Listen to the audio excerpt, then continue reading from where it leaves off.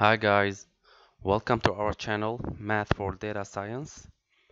My name is Nizar Altounji and I'm going to help you uh, with probabilities and statistics. We have a Facebook group. It's named uh, Math for Data Science, Python, R, SQL, and so on. It's a long name. Uh, you can check it out and you can get the link of this group um, this is my first video. So my name is Nizar Altounji. Uh, I'm a master degree student in uh, mathematical statistics and programming.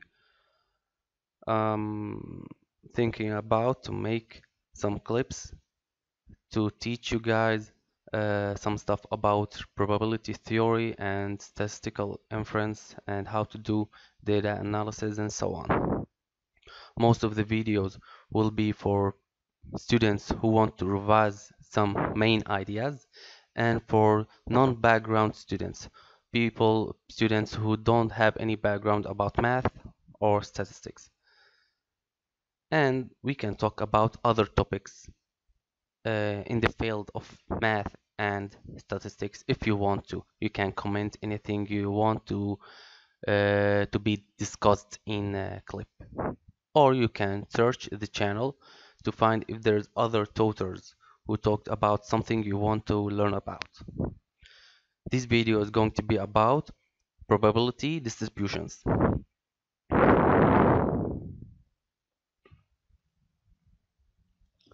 Now, what is a probability distribution?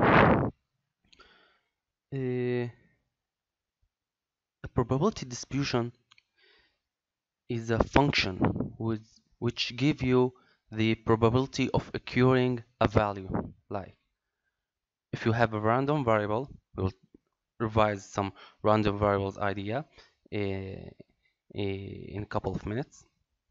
If you have a random variable and you want to know what is the probability that this variable will get the value of blah blah. I don't know. It's for, for example uh, for uh, value 3 you can calculate this probability. So uh, in uh, sorry for uh, each uh, probability distribution there's a density function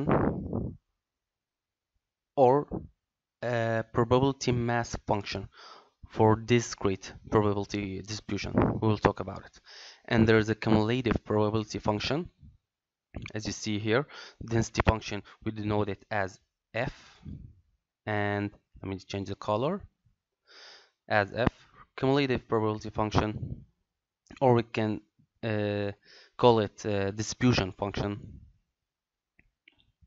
capital F. It's the same it gives you the probability that the variable will get value equals or and less than or equal and greater than or just greater less and so on. We'll have some examples at the end of the uh, second second clip to learn about these uh, ideas. For each distribution there is a characteristics uh, for example like the uh, expectation the variance the mode the median the moment generating function. There's a lot of characteristics we can talk about there's a lot of applications a lot of ideas in distribution but we don't usually use much of them. Usually uh, the most uh, application we always uh, use the expectation mean the mean it's a estimator for the expectation and the variance and so on. Before we start about the probability distribution let's revise some ideas for people who don't uh, uh, familiar with these ideas. Experiment and random variable. Like what is the experiment? You know experiment is when you try something. So most of the applications of life you can uh, call them an experiment. Rolling a, a die um, throwing a coin um, playing cards poker, so on. Uh, and each experiment you can represent it with a random variable. A random variable which represents, for example, the number of heads that you're going to get by flipping a coin. Uh, how many six you're going to have when you throw uh, a die three times, and so on. So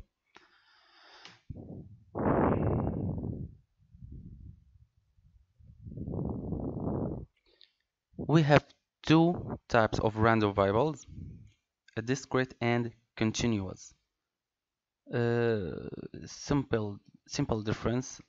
Um, discrete random variable which takes uh, discrete values like 1, 2, 3, 0, 10, so on. Continuous, you know, uh, for example, if the x random variable is a continuous and takes values between 0 and 10, he may take a value of 5.4, 3.19, so on. And therefore, there's two kind of probability distributions. There's a discrete distributions and continuous.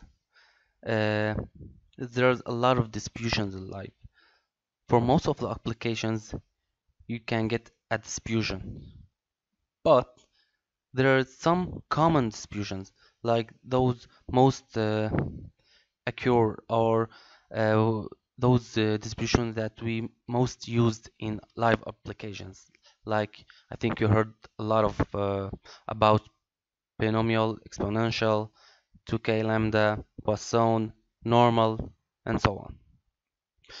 Uh, an example of uh, continuous distribution there is a normal and exponential, uh, discrete, there's Bernoulli and binomial, and Poisson also.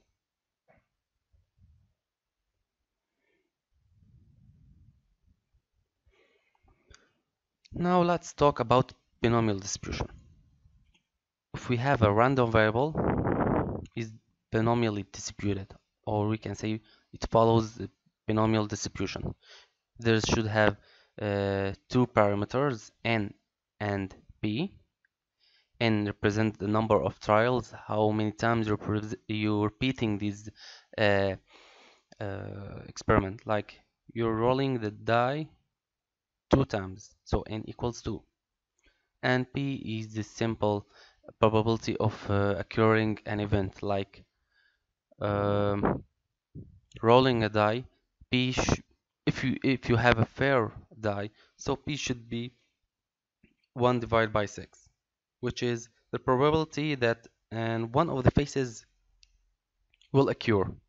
The face 1 or 2 or 6 or for example if you're flipping a coin so it should be uh, a fair coin like uh, it should be um, uh, 0.5 because you have you only have two uh, faces heads and tails so it should be and half 0.5 of course there's other application when uh, the p is not uh,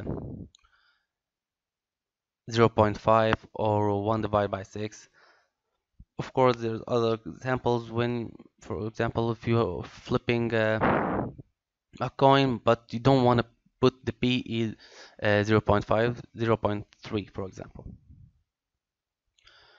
um, the probability mass func function for the binomial distribution is as you see here in the equation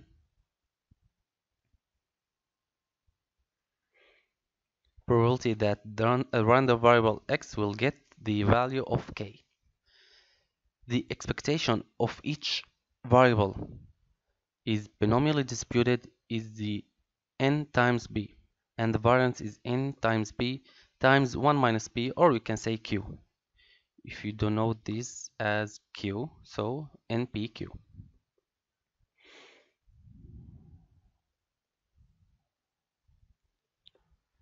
um, normal distribution. A normal distribution should have, uh, if a variable is uh, normally distributed, to have two parameters, mu and sigma square. Mu is the uh, expectation and sigma square is the variance. The density function is presented here. Um, the expectation is this parameter mu and the variance is sigma square. or for uh, students who not doesn't have a background about uh, math and probabilities and so on statistics don't be afraid uh, these ideas I'm talking about there's a, there will be another clip uh, with examples so don't be afraid uh, these are easy ideas. You can understand it I'm sure. So don't be afraid about these long equations and so on. You'll uh, see how we work with these uh, equations well for honestly we don't work with them a lot because most of the time we use softwares. Uh, another idea about the normal distribution we should talk about this score. Like for example if I have an x is the normally distributed function with two parameters mu and uh, sigma square. I can make another uh, variable and it's going to be normally distributed with two parameters 0 and 1 the expectation is 0 and the variance is 1 and we call this distribution is a standard normal distribution. Uh, the expectation will be 0 and the variance should be 1 as we said. A density function is the same as the old one but you can notice that we assign the uh, mu as 0 and sigma is 1 so we cancel these uh, uh, letters. And we have here a new density function. But it's the same as the old one but simpler. Sorry.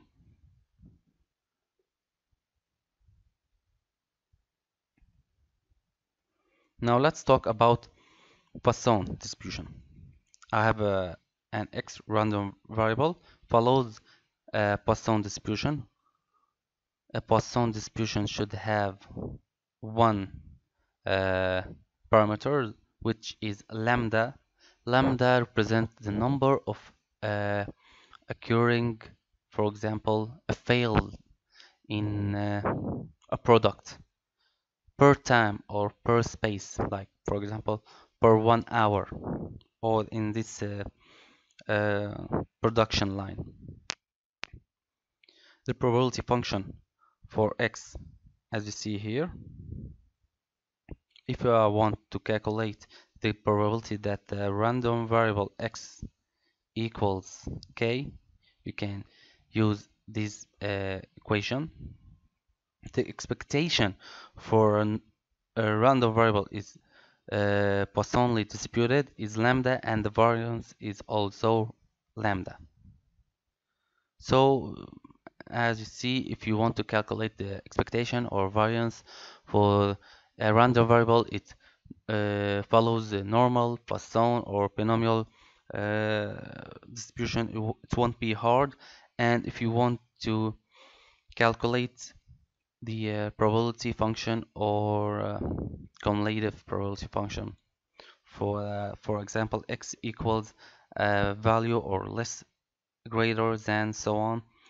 Most of the time we, we use the uh, software but it's not hard to calculate it by hand. Uh, this clip is over. We're going to uh, finish right now. There is another clip that continues about these ideas and show you the uh, relationship between these three uh, distributions and we will talk about simple examples and then we're going to move to uh, apply the ideas that we've learned in R. So I suggest you guys to watch the other video and happy learning. Bye bye.